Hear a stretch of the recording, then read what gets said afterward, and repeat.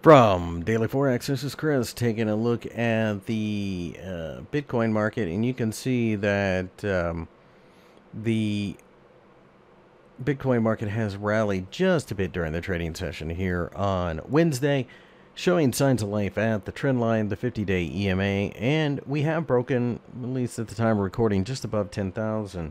I think this is a good sign as the Federal Reserve has been dovish, but and did an interest rate cut, but uh, central banks around the world continue to do so, and therefore I think that is good for Bitcoin longer term.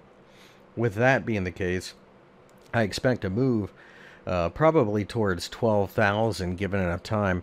You know, it's going to be more of a grind, but that's what I like to see this market. We, we can't have the nonsense we had a couple years ago. It won't last.